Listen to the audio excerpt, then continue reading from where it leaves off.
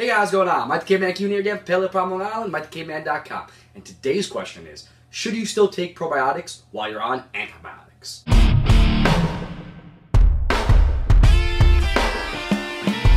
I'm the caveman. And the answer is yes. Now, I've often described the use of antibiotics as basically nuking the playing field.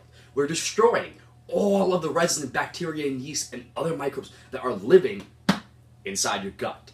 Now, the problem with that is they're a major part of your health, right? We've talked about that ad nauseum.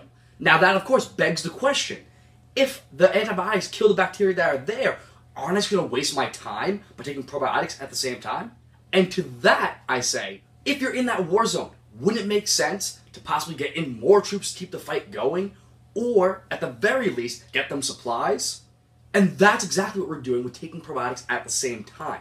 The literature is extensive to the concurrent use of probiotics and antibiotics. In particular, a lot of the data backs the use of lactobacillus and bifidobacterium. And in this case, because a lot of damage has been done to the gut, they actually may make it through. But a better bet will still be something like Megaspore. There's a couple of reasons why.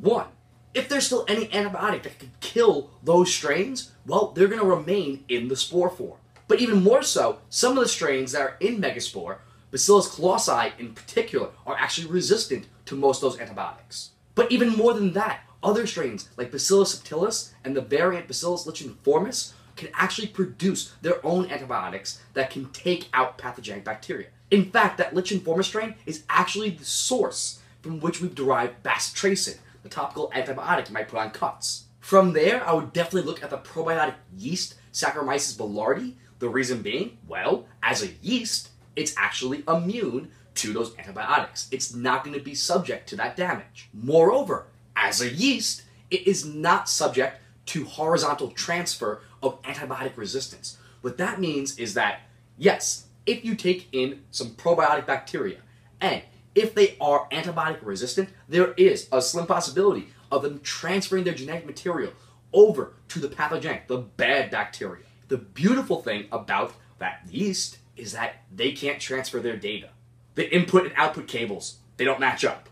But if you are really concerned about that bacteria and yeast actually making it through and not interacting with the antibiotic, make sure you take the antibiotic first. Give it a couple hours, four or five hours, and then take your probiotics, and you're going to see a lot of benefit from that. So, your biggest takeaways are that yes, you absolutely should be taking probiotics when you have to be on antibiotics. In terms of what to take, we're definitely looking at the strains in Megaspore, like Bacillus clausii, Bacillus subtilis, and Bacillus licheniformis. We're looking at yeasts like Saccharomyces boulardii, and potentially getting some extra diversity. Look at some Lactobacillus and Bifidobacterium, that's the traditional probiotic bacterias, as well as some fermented foods. I know it's not going to have as much colonization, but it's still going to have a lot of benefit. So the yogurts, the kefirs, the kimchis, the sauerkrauts, the kombuchas, all that good stuff, get some of that in too. But if you want some more information on probiotics, the gut microbiome specifically, or just gut health in general, take a look at this playlist over here. It's got a bunch of the videos that I've put together on that. Either way, hopefully it helped you out. You know what to do though. Like and subscribe down below. Share it with your friends. Head over to Instagram and Twitter and follow me at Mike the Caveman over on Facebook at Paleo Problem Island and of course over at MikeTheCaveman.com. That being said, have a wonderful rest of your day. Go get some probiotics, and I'll see you tomorrow. A ketone simply refers to a molecule that has a carbon atom in the center, I'm a double bond oxygen